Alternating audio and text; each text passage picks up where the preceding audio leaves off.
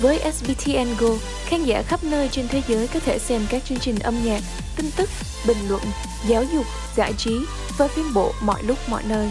Hình ảnh HD, âm thanh chất lượng, giá chỉ có 9 đồng 99 cho một tháng. Tải app SBTN Go và ghi danh ngay hôm nay để được xem SBTN trên TV, điện thoại, iPad và trên máy tính. SBTN, hệ thống truyền hình được phát hình 24 trên 7 để phục vụ khán giả Việt Nam tại hải ngoại.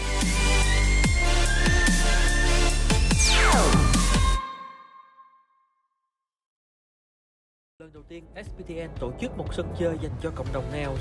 Cuộc thi sắc đẹp Nail Queen 2022 với các giải thưởng tiền mặt thật hấp dẫn. Giải nhất 10.000 Mỹ Kim, giải nhì 6.000 Mỹ Kim, giải ba 4.000 Mỹ Kim và nhiều giải khuyến khích. Tất cả các thí sinh từ các tiệm nails tại Hoa Kỳ và trên toàn thế giới, tuổi từ 28 đến 55 đều có thể tham gia. Xin vào trang nhà www.sptn.tv để điền mẫu đăng ký dự thi kèm lệ phí ghi danh 50 Mỹ Kim. Chi tiết về cuộc thi sắc đẹp Nail Queen 2022 xin liên lạc 714 636 1121. Trân trọng kính chào quý khán thính giả theo dõi xoáy tin với Đỗ Dũng và Mai Phi Long. Thưa quý vị, hội nghị về biến đổi khí hậu đang diễn ra ở tại Glasgow, Scotland. Thì các nhà lãnh đạo trên thế giới ờ, uh, tề, tụ về đây để mà đưa ra những cái đối pháp Ờ, trong thời để giải quyết cái vấn đề khí hậu sau khi mà cái hội nghị khí hậu Paris năm 2015 thành công thì mọi chuyện nó bị khựng lại bởi những quyết định của chính phủ Hoa Kỳ trong thời gian đó. Bây giờ quay trở lại thì thưa quý vị, tình hình thế giới trong cái chuyện biến đổi khí hậu có khá hơn không? Thưa quý vị, càng lúc càng tệ. Cách đây một thập niên thì các nhà khoa học dự đoán như thế này. Cả thế giới đang đứng trước khoảng chừng cái khoảng cách khoảng chừng 7 độ Fahrenheit là sẽ có tình trạng là địa cầu ấm. Nhưng chưa đến cuối thế kỷ này, bây giờ chúng ta mới năm 2021, thì thưa quý vị, bây giờ cái khoảng cách không còn là 7 độ nữa, bây giờ khoảng cách chỉ còn có 5 độ rưỡi mà thôi. Có nghĩa là cái tốc độ mà nhiệt độ nó ấm dần trên toàn cầu nó càng lúc nó càng đi nhanh hơn. Và trong cái thời điểm này thưa quý vị, nếu không có một làm, không có một cái hành động nào mà là quyết liệt thì phải nói rằng là tương lai của nhân loại không biết đi về đâu. Giống như cái lời tuyên bố trong cái ngày khai mạc của cái hội nghị của Thủ tướng Anh Boris Johnson. Thì quốc gia đứng đầu hiện tại bây giờ có mặt tại Glasgow, đó là Hoa Kỳ. Thì khi mà Tổng thống Joe Biden đến phó hội lần này, ông có lãnh đạo được thế giới chiến đấu chống lại biến đổi khí hậu hay không? Câu hỏi được đặt ra là bàn tay của ông Biden có gọi là được gọi là tự do để mà làm những điều mà Hoa Kỳ cần phải làm cho tương lai của thế hệ sau hay không? Đó là chủ đề của anh em chúng tôi gửi đến cho quý vị ngày hôm nay. Xin chào anh Đô Dũng. Chào Mai Phi Long, kính chào khán giả SBTN. Uh, um, hội nghị à, uh, COP26 này như sáng nay chúng tôi đưa tin trên chương trình FBTN Morning thiếu hai đại gia đó là Nga và Trung Quốc Nga thì chỉ mang tính biểu tượng mà thôi chứ còn cái chính là Trung Quốc ở Trung Quốc là cái nước mà coi như là Ờ, đóng vai trò rất quan trọng trong cái chuyện mà gọi là uh, thay đổi khí hậu toàn cầu. Mà hôm trước chúng tôi có trình bày quý vị là một quốc gia mà bây giờ sản xuất rất nhiều hàng hóa trên thế giới và cũng là cái nơi ô nhiễm môi trường nhiều mà bây giờ Trung Quốc không còn không không tham dự hội nghị này. Họ tham dự nhưng mà không phải cấp cao điều đó cho thấy là họ chưa biết làm gì cả. Trung Quốc có kế hoạch cũng chuyển sang năng lượng xanh ít nhất là tới năm 2030 hoặc đến trễ nhất là 2060 nhưng cho đến giờ phút này Trung Quốc ông Tập Cận Bình vẫn không cho biết là sẽ làm bằng cách nào. Đó. Thành ra cái hội nghị này nó làm cho ông Biden trở thành là đàn anh đó, coi như là xếp xong à, ờ, nếu mà tính về đẳng cấp. Nhưng mà liệu ông có thuyết phục được các quốc gia khác để mà noi theo cái ờ, chương trình ờ, làm cho Ờ, cải thiện khí hậu thế giới hay không thì chưa biết. Bởi vì kỳ này ông đi đó trong một cái vai trò gọi là hơi yếu hơi yếu mà ông hy vọng ông đã từng hy vọng. Ông hy vọng là thông qua được một số ít nhất là một hoặc hai cái đạo luật ở tại nước Mỹ. Nhưng mà quý vị biết là trên đường đi thì ông đã không có làm được cái điều đó là bởi vì ngay giờ, giờ phút này quốc hội vẫn chưa thông qua gì cả và người ta hy vọng là ngày mai là ngày thứ ba thì may ra quốc hội mới thông qua được cái 1.200 tỷ cho cái hạ tầng cơ sở mà đã được thượng viện thông qua hồi tháng 8 à. bây giờ người ta mới hy vọng nó rồi nhưng mà còn cái 1.750 tỷ thì bây giờ vẫn chưa có tới đâu cả. Rồi à, sáng nay ông đã phải làm cái điều mà có lẽ là ít có ai làm. Đó là ông phải xin lỗi thế giới vì cái vị tiền nhiệm của ông là ông Donald Trump đã rút ra khỏi cái hội nghị Paris năm 2019 ờ, khi mà ông Trump làm tổng thống. Tôi nhớ là hội nghị đã 2016 à, à, và à, 2015 đến 2016 là Mỹ chính thức tham gia. Rồi đến 2019 ông Trump rút ra và bây giờ ông Biden phải trở lại.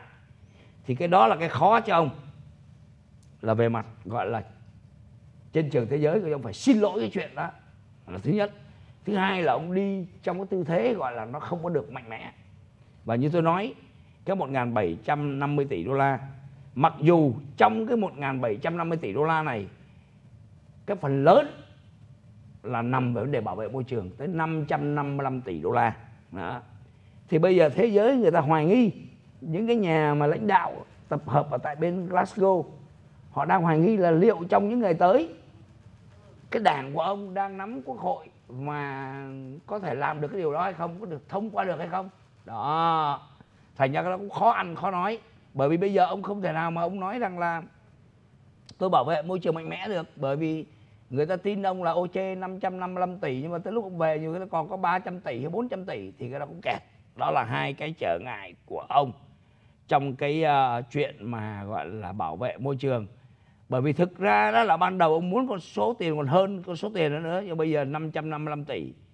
Thì quý vị biết đó, trong 1.750 tỷ, nếu bên dân chủ đồng ý, nếu đó nha, chắc gì những cái người mà bảo thủ hoặc là trung dung, họ chịu con số 555 tỷ này, những người cấp tiến, thì họ nói là 555 tỷ là không có đủ rồi đó. Chúng tôi muốn cả ngàn tỷ nhưng mà thôi, bây giờ có thể là họ chấp nhận thôi không không được ngàn thì được 555 tỷ cũng được. Cái miếng lớn nhất trong 1.750 tỷ đúng không? Nhưng mà như vậy khi mà ưu tiên cho môi trường thì nó lại cắt giảm những chương trình khác. Mà quý vị biết rồi đó ví dụ như là vấn đề học đại học cộng đồng 2 năm miễn phí là biến rồi. Cái chuyện mà nghỉ uh, gọi là để ở nhà để trông con hay là bố mẹ bị bệnh này kia nó gọi là pet ly pet sick ly cũng biến luôn đó, rồi bây giờ không biết còn những chương trình nào khác nữa. Bây giờ là ông Bernie Sanders đang đòi tiếp tục làm sao đấu tranh để mà mở rộng cái chương trình Medicare giúp những người lớn tuổi. Cái điều mà bây giờ đang giằng co với nhau và nếu mà giúp cho Medicare thì phải cắt giảm cái 555 tỷ của cái môi trường xuống. Đó, mà khi cắt như vậy thành phần cấp tiến bảo cắt vừa mà không cắt quá, tôi không bầu được kẹt lắm. Đó, thì với cái tình hình mà rối ren như vậy Ờ, đối với ông Trump à, đối với ông Biden làm cái khó để cho mà ông có thể mà thuyết phục người khác ở tại um, hội nghị ở Glasgow thưa anh Long. Tình hình nó không đơn giản như chúng tôi có trình bày với quý vị rằng là người ta dự đoán giữ làm sao với cái quyết định của hội hội cái uh, cái thỏa, à, cái cái um, thỏa thuận Paris năm 2015 là giữ làm sao từ đây đến cuối thế kỷ này nhiệt độ của toàn cầu nó chỉ tăng lên một độ rưỡi mà thôi không giảm đi một độ rưỡi Đấy, xin lỗi quý vị à, không phải nó nó đang tăng mình à. chỉ giữ nó tăng đến một độ rưỡi mà thôi à. nhưng bây giờ trong tình trạng hiện nay thì là người ta dự đoán rằng từ đây đến cuối thế kỷ nó sẽ lên tới hai độ rưỡi có nghĩa là ngoài cái mức mà các nhà khoa học đặt ra cái giới hạn thưa quý vị với cái giới hạn mà một độ rưỡi thưa quý vị người ta đã dự đoán là từ đây đến năm 2100 là các vùng duyên hải của toàn bộ châu lục ở trên thế giới này nó sẽ dâng lên từ 3 cho đến 6 feet nước. Thì bây giờ lên hai độ rưỡi người ta không thể nào lường trước được. Bây giờ cái tốc độ 2 độ 7 2 độ 7 cái năm tốc, 2100 dạ, là lên tới 2 độ 7 cái tốc độ mà băng tan bây giờ coi như là không có ngăn chặn được. Bây giờ các nhà khoa học thế giới chỉ muốn làm sao mà nó giảm bớt mà thôi. Nó chậm lại mà thôi. Đó, để cái, đến, đừng đi một cái mức quá hơn nữa là chúng ta không thể nào coi như là hủy diệt cả cả cả cả nhân loại. Nhưng mà toàn bộ cái chính sách này đã bị những cái vấn đề mà về chính trị, nội địa của nước Mỹ phải nói rõ ràng là như thế. Đặc biệt trong thời của Donald Trump bằng cách là ông lật ngược rút ra khỏi thỏa ước khí hậu 2015 và chúng tôi để nhắc lại cho quý vị cái chương trình của ông Joe Biden mà ông muốn làm bỏ cái số tiền mà trong đó có toàn bộ số tiền ba ngàn rưỡi ra, trong đó có số tiền để xây dựng lại cái hạ tầng cơ sở. Tiền đó không phải là đem phát cho quốc gia khác, mà tiền đó xây dựng lại cái hạ tầng cơ sở của nước Mỹ để chuẩn bị làm cái năng lượng xanh. Tiền nó dùng để đầu tư, xây các trạm gọi là sạc điện, xây các trạm mà cung cấp hydrogen để dùng cho các loại xe điện, các loại xe chạy bằng fuel cell là cái loại chạy bằng khí, hydrogen, và để cũng làm các điện mặt trời và điện gió. Thì cái số tiền đó để đầu tư vào cái lĩnh vực đó, để làm gì? Để chúng ta thay đổi cách chúng ta sử dụng năng lượng. Chứ không phải tiền đó đi phát không cho thiên hạ. Và khi mà tạo, tái tạo như thế, thì thưa quý vị, công ăn việc làm, và quan trọng nhất là tương lai. Nhưng mà mọi chuyện bây giờ ông Biden phải nói rằng là đi đến một buổi tiệc mà giống như là không cầm theo một món quà gì cả. Đó là những gì mà chúng ta đang thấy. Rồi những cái hậu quả kế tiếp nó như thế nào? Xin quý vị tiếp tục giữ bằng tầng SPTN chúng tôi sẽ quay trở lại ngay sau ít phút. Thông tin thương mại.